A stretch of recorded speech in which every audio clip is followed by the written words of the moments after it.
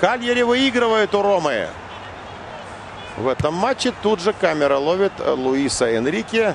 Дальше Франческо Тотти. Дальше все играется по правилам. Телевизионным правилам. Рома сегодня отдала, что могла.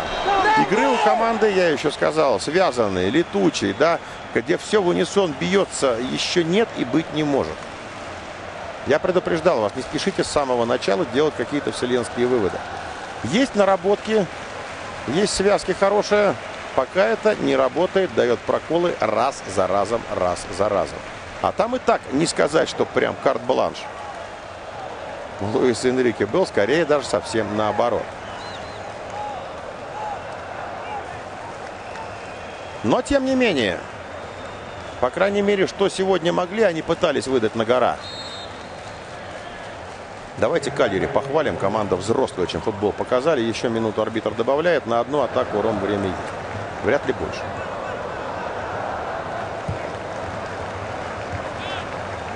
Хайнце. Варенье. Пошел Хайнц. Нет, ему скорости не хватит. Может,